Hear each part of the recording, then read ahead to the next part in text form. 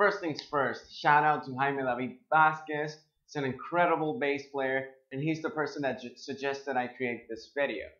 So this video is about two types of players when it comes to going to the woodshed and practice.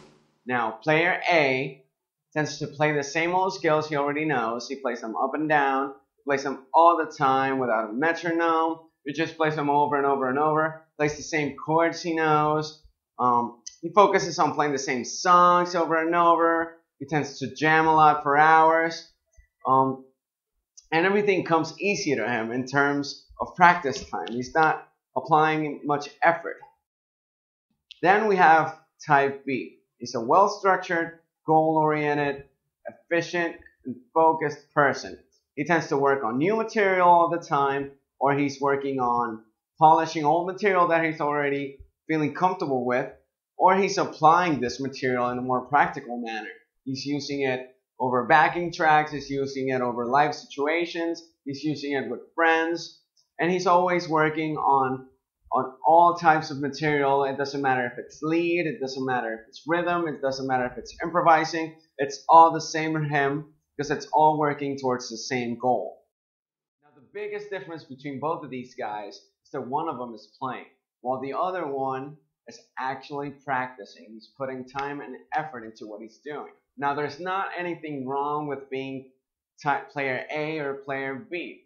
Okay, you're it's good to be both of these guys at, one point or another. So you want to have fun being player player A. You want to sit down and, and and do some applied practicing, which I tend to think goes more into the player B category. But it's all about spending more time being player B than being player A. So for example, while I'm a teacher and I know a bunch of teachers, and we tend to get a lot of students that say, man, I'm practicing three, four hours a day and I'm not seeing any results. So a lot of what happens here is that they tend to practice for 30 minutes and then let, let's say he's doing four hours a day. So he might be doing 30 minutes of actual practice, then three and a half hours of just playing and fooling around and having fun. Um, not that practice is not fun, but you should be doing something more structured.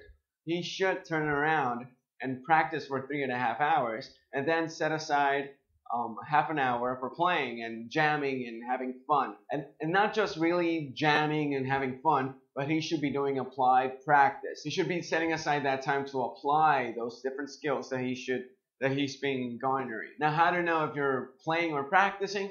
Well, playing tends to come easy for you. It's usually a bit less stressful um, you're not working on new material. You're playing what you know. You're playing what feels comfortable to you. So you're not getting out of your comfort zone. You're not getting out of your comfort zone, you're probably just playing. The main difference between practicing and playing is what you want to get out of it. So when you're practicing, you're looking to create new skills. You're looking to refine the skills that you already have. You're looking to maintain the skills that you already have or you're looking to apply those skills in a more practical manner. So when it comes to practice, you want to be structured. You want to know what you're going to do. You want to you want to have goals also. You want to know what you're shooting for. So if you're going to sit down to practice, you should have something that you want to get out of that practice time before you start to actually practice. Let's say you okay, so let's take me for example. I'm planning on recording an Eric Johnson video.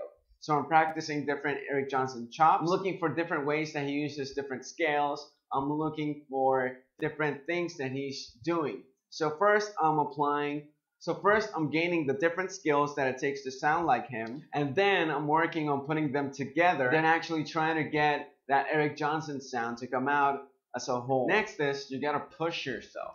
So you want to be at least a little bit uncomfortable. You want to feel at least a little bit of stress. You don't want to be completely comfortable if you're practicing. It will get better little by little and it gets to be a, uh, more fun each time. As soon as you start feeling like you're taking control of the material, the new material, it starts getting more fun. And what's more fun than knowing more and being able to play more stuff, sounding better and getting sounding more like a professional each, each time. Now, there's a bunch of different types of, of ways of, to practice, and one of them that could get very confused with just playing is applied practice, or what at least what I like to call applied practice. So what I'm doing is I'm sitting down, I'm playing the different licks or or phrases or lines or or the or material. I'm playing the different material that I'm learning and I'm trying to apply it in a more functional manner, in a more practical manner, and the the type of way that might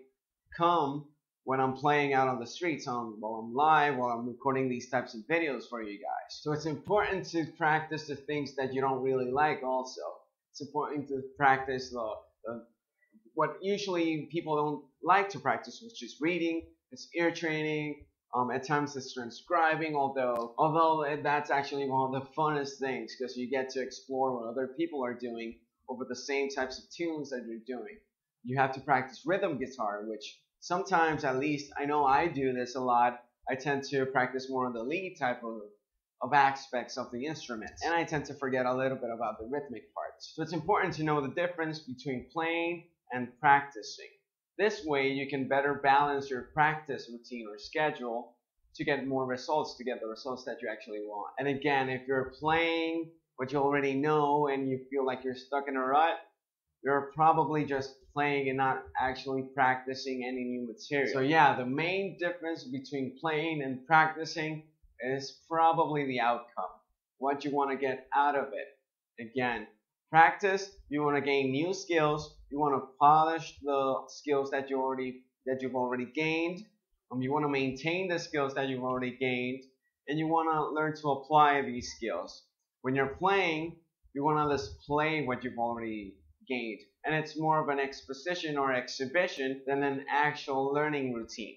So if you're not learning, you're probably not practicing. If you're practicing, you're learning. Okay, so that's it for this video. Hope you guys enjoyed it. Hope you guys learned something new. You can follow me on Facebook for new updates. You can follow me on Instagram for posts just about every other day. You can follow me on Twitter where I put up the hashtag musician tip of the day just about every other single day also. And you can follow me on my website which is juanantoniomusic.com. Alright, thanks for watching.